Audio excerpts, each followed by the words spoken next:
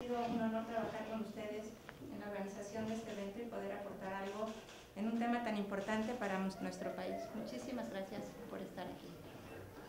Bienvenidos a todos y le cedo la palabra al doctor Arturo Fernández, rector de nuestro instituto. A todos ustedes, doctor de la Fuente, presidente del, del Aspen Institute de México, el doctor Curi, subsecretario de Salud, pues señoras y señores, muy estimados estudiantes del instituto, pues me da mucho gusto recibirles en este evento que se ha organizado conjuntamente con el Aspen Institute para hablar de la economía de la, de la salud, una política pública de suma importancia para cualquier nación, para el bienestar de cualquier nación, y nos da muchísimo gusto además que tengamos esta colaboración con el Aspen Institute. El ITAM forma parte de su consejo directivo y el doctor de la Fuente pues, lo ha presidido muy atinadamente y realmente lo ha puesto en el mapa de la política pública en este, en este país, eh, afortunadamente. Al doctor Curi también le agradecemos muchísimo su presencia, muy distinguido médico y estudioso de estas ciencias de la salud, también nos ilustrará con su conocimiento y experiencia en el tema. Y desde luego, pues el tema de la economía de la, de la vacunación es de, es de la mayor importancia porque es una actividad social que genera externalidades, sobre todo entre los no vacunados, pero también eh, puede generar externalidades negativas muy importantes debido a las mutaciones que pueden ocurrir por la eh, extensión de las enfermedades en, en los no vacunados. Así que creemos que es un área de colaboración entre dos disciplinas para una mejor formulación de la política pública y celebramos que podamos realizar este evento para beneficio del conocimiento y el desarrollo de la política pública en México. Así que les agradezco a todos su presencia aquí. Juan Ramón, muchísimas gracias. Realmente un gusto que estés aquí con nosotros y doctor Curi, también muchas gracias. Muchas gracias. Gracias, Claudia. Buenos días. Tengan todos ustedes. Señor rector, pues en primer lugar, muchas gracias por su hospitalidad, por recibirnos esta mañana aquí en el ITAM, una institución de un eh, incuestionable prestigio eh, y que contribuye de manera importante, diría yo, a la formación de muchos de los mejores estudiantes eh, que tiene el país. Eh, es, es, un gusto. Y además lo es porque, como bien lo ha dicho el rector, él forma parte del Consejo del ASPEN en México. El Consejo del ASPEN en México, eh, siguiendo los lineamientos del ASPEN en, el resto del mundo, en los otros 12 países en donde existe eh, procura combinar personalidades del mundo académico, eh, personalidades del mundo empresarial.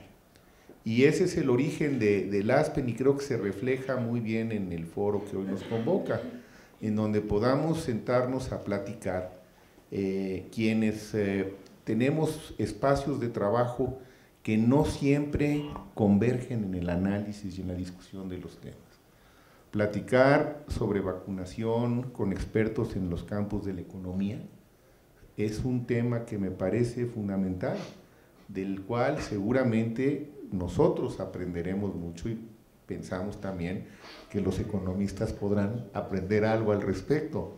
Eh, pero eh, creo que este es justo el punto de ASPE, ¿no? Vamos a, a armar foros como este, no necesariamente tumultuosos, pero que puedan entrar a profundidad a ver ciertos temas, intercambiar puntos de vista entre diversas disciplinas, enriquecernos e incidir en políticas públicas. Por eso tenemos el honor de que el, el conferencista principal de esta sesión sea un funcionario público, el subsecretario de Salud, porque eh, algo que distingue al ASPEN de otras organizaciones llamadas no gubernamentales, no sé si apropiada o inapropiadamente, pero así se denominan, se autodenominan, es que no, no que nos quedamos en el análisis y en la crítica, que siempre es, cuando es constructiva, es bienvenida, sino que tratamos de incidir en las políticas públicas, tratamos de que lo que analizamos, estudiamos, este, conocemos,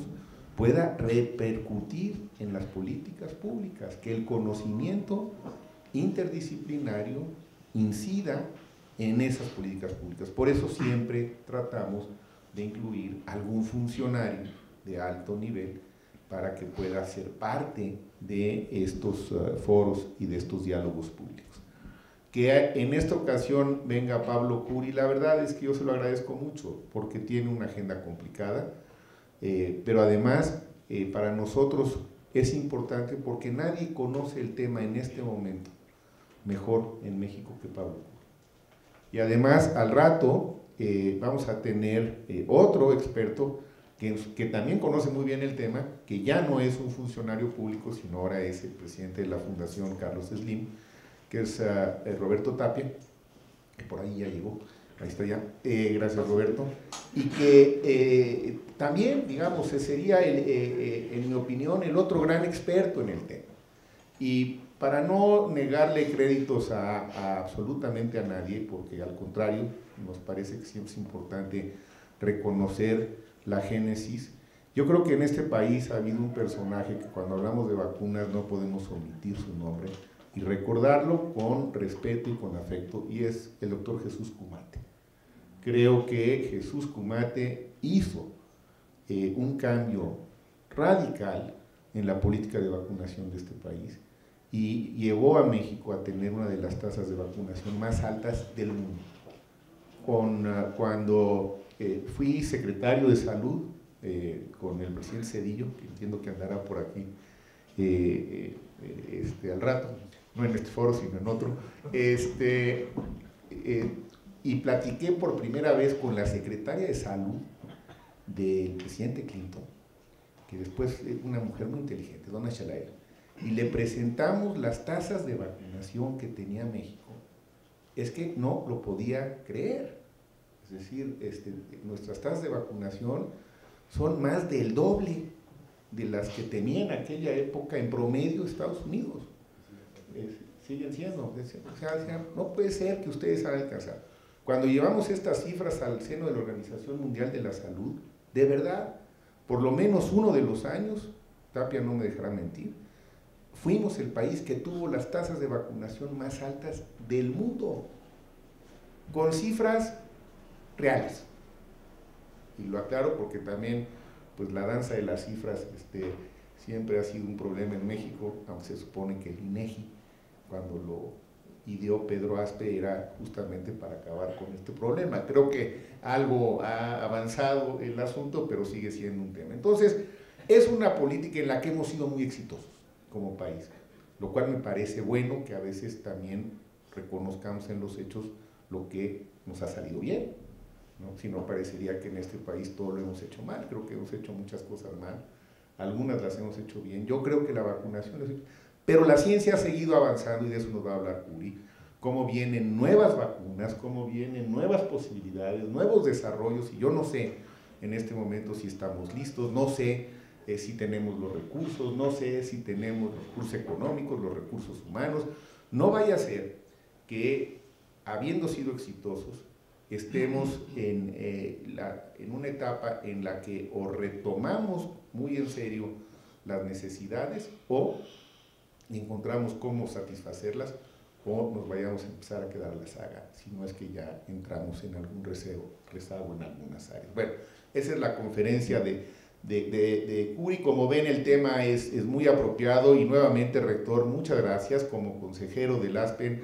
Siempre hemos contado con tu apoyo y qué bueno que podamos organizar más eventos aquí con ustedes en el ITAM, porque Estamos convencidos del rigor intelectual con el que abordan las cosas, la libertad con la que discuten los temas, eh, eh, interactuar con, eh, con, Claudia, con el doctor Samaniego, son, realmente son, son, son colegas y amigos con los que es muy grato organizar estas cosas. Gracias a Miguel Limón, que nos apoya del lado del ASPEN en estos temas.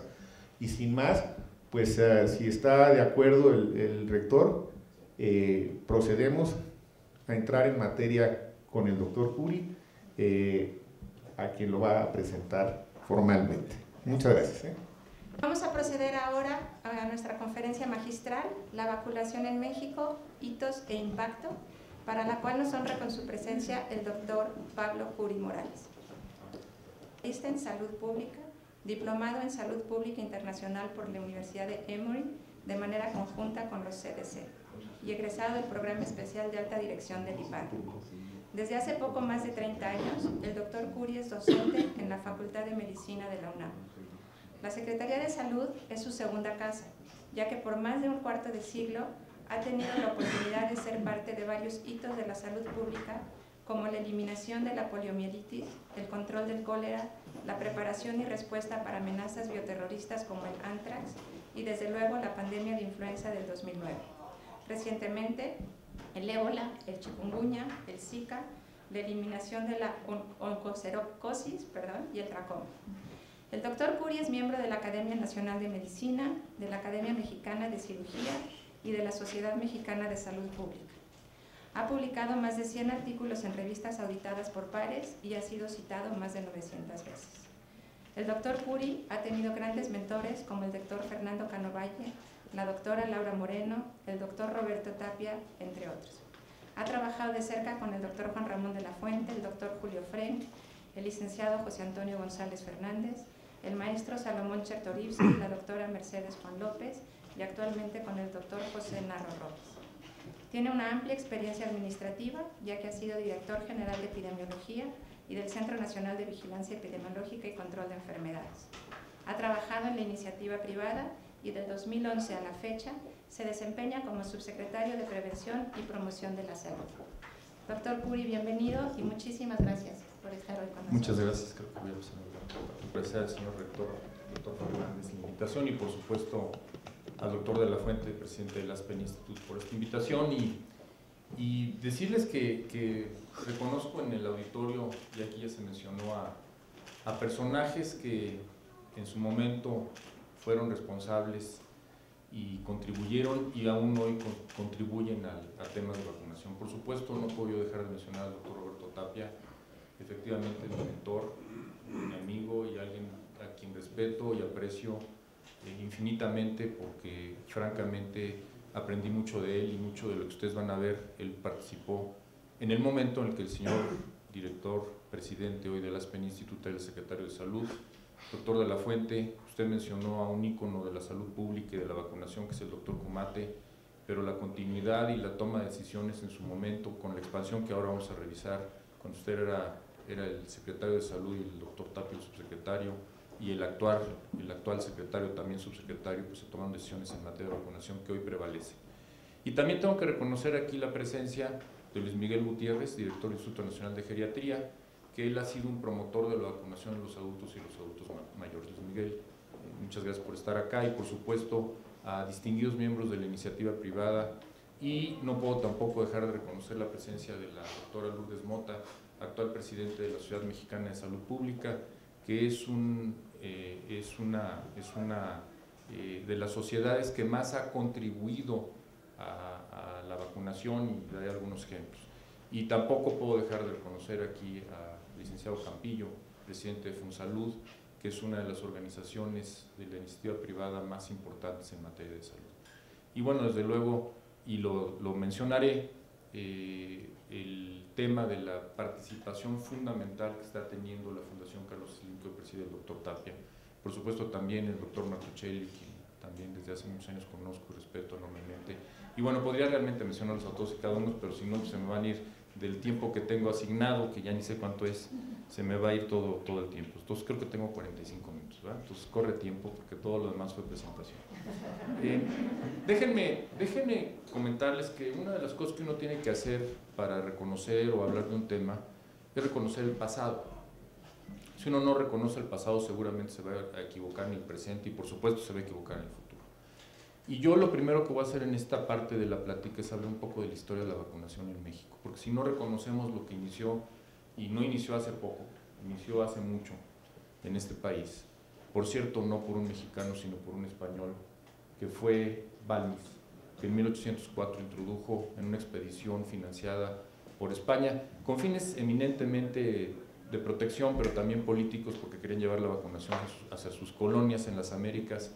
Y Balmis llegó a México, trajo la vacuna, el virrey en su momento no se dejaba vacunar, se dejó vacunar, pero lo más importante es que niños mexicanos se volvieron el conducto en una, en una expedición que se hacia, hacia Manila y hacia los territorios del Océano Pacífico de España en aquel momento, pues llevaron a niños mexicanos, que por cierto quien quiera y vale la pena que lo haga, visiten la sede de la Secretaría de Salud, que es un ícono de la arquitectura nacional, está la placa donde están los nombres de los niños mexicanos que fueron en esta expedición. Llevó la vacunación desde México hacia toda la zona de Filipinas y, esta zona. Eh, voy a irme rápido porque si no me puedo detener, me podría estar aquí explicando cada una de las cosas que han pasado a lo largo de la historia. De, me brinco casi 100 años y se genera el Instituto de Bacteriología, Enfermedades Infecciosas y Vacunas. En 1926 hay un decreto para, la, para eliminar o iniciar la eliminación de la vacuna contra la viruela, digo, para la, de la viruela. En 48 se incluye la vacuna combinada de difteria y tosferina, se, se crea pues y ya se empieza a aplicar. Después, en 51, se inicia la vacunación contra la, de la BCG, que esto, y aquí quiero hacer una precisión, eh, la gente se vacuna contra la tuberculosis y dicen, ah, es que con esa no va a dar tuberculosis. No está destinada a evitar tuberculosis meningia, fundamentalmente.